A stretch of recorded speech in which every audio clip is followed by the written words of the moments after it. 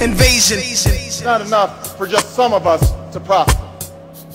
For alongside our famous individualism, there's another ingredient in the American saga. We are one people.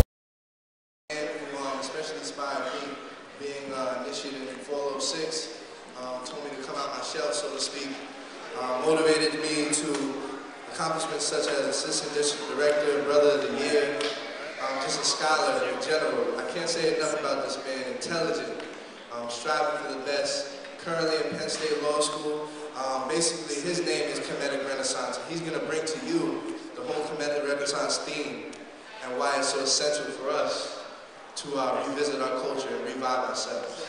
Could we please have a round of applause for my dean, Senator Strong?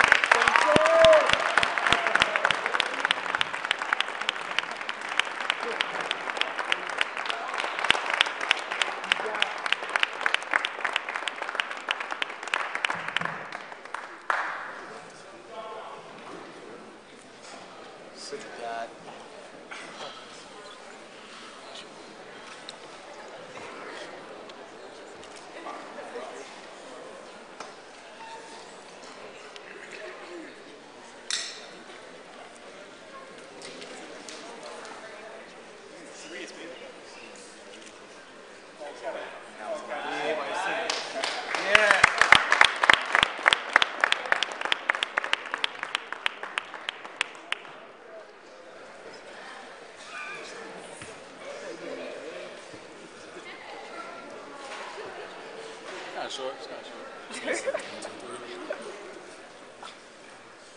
Good evening. Good evening.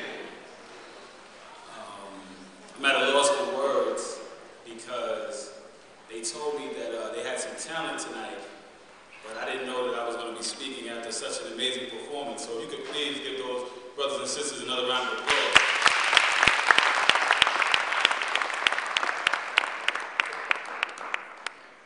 Uh, I was delighted to be introduced by Brother Andrew Oliver. Uh, Brother Oliver has uh, got a new, he's coined a new name. He's the, uh, the Barack Obama of Pi Rho Chapter. He's, uh, he's our brother president, and it's, it's been an honor watching him grow as just a young gentleman. Just you know, when he, I remember when he first came to this symposium, and I remember your words, and I, I won't share them with everybody here, but he's always impressed me. He's always done some magnificent things, and just recently he was honored to be Brother of the Year for the Brothers of Pennsylvania, and hopefully for the whole.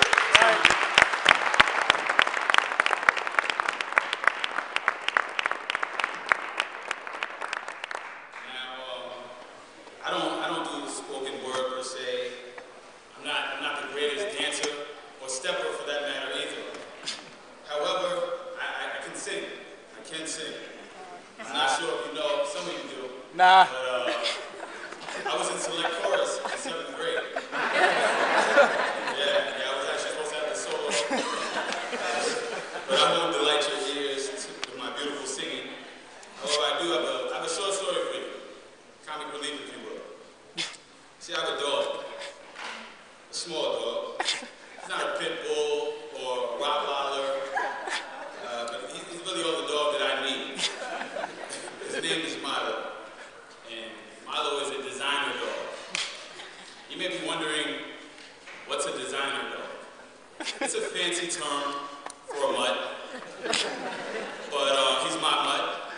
And um, you know, normally I just keep it short, and I, I tell people that he's a Yorkie, but uh, Milo is actually a Sheshire. He's half Shih Tzu, half Yorkie.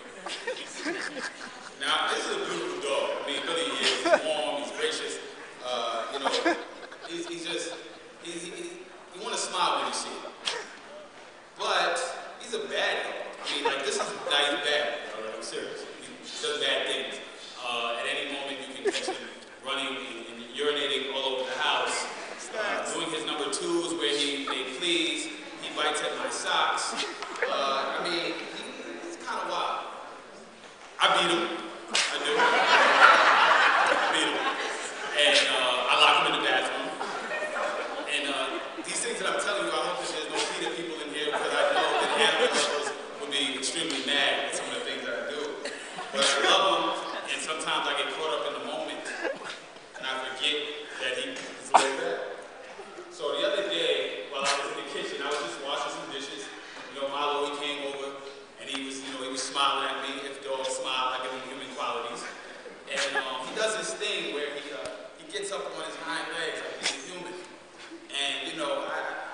So I got down on the ground. I'm not going to get down on the ground now, but I got down on the ground then.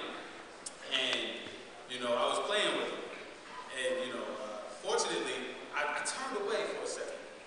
And I'm so thankful that I did because he was releasing the water that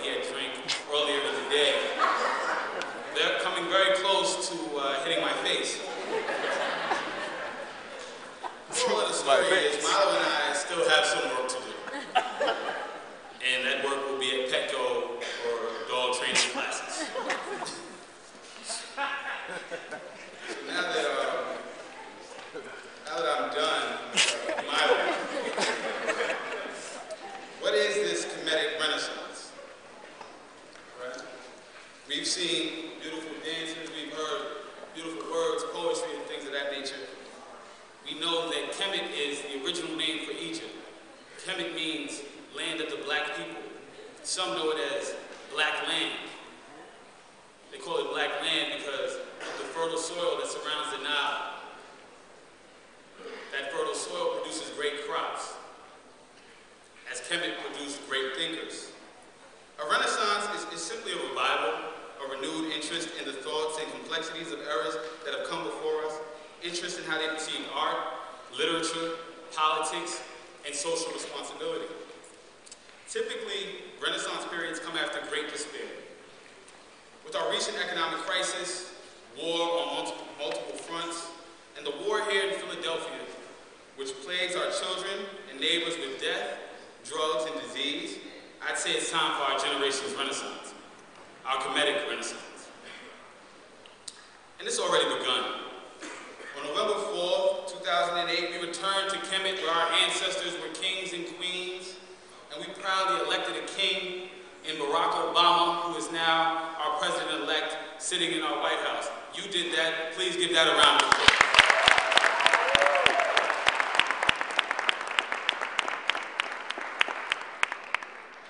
And we made a queen, well, we, we, we have a queen in our future First Miss Michelle Obama, so we, we must applaud our beautiful queen.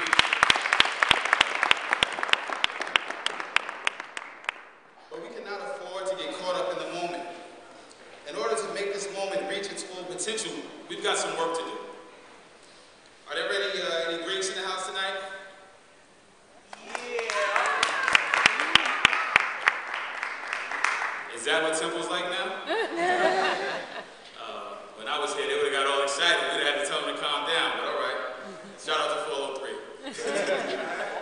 um, we're honored by your presence, and I, I, I've heard that there's some new initiates. I wish to congratulate the new initiates of the respective organizations, but I would like to spend a special, warm congratulations to the newly initiated ladies of Alpha Kappa Alpha Sorority Incorporated, Delta Mu Chapter.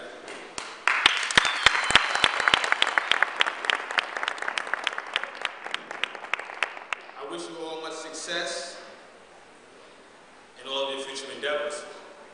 While it brings me great esteem to speak of the great ranks of leadership and change that have emerged from our I would be remiss in doing a disservice to myself and all of you by not putting out a charge for us to do better. It's not enough to highlight the great members of our organizations, to place them and their accomplishments on pedestals and act as if that foundation was not laid for us to stand upon and achieve more. We've got to do better. It's not enough to host programs on the campus of Temple University and educate the already educated. There are people who live right outside of our, of our neighborhoods, of our beautiful cherry and white ivory tower, who suffer and could benefit from the knowledge we have to share. It's not enough to say the words community service. We need to, in fact, think community service, speak community service, and labor community service. After all, our return to greatness, this great change that we seek, will only work if we engage our local communities.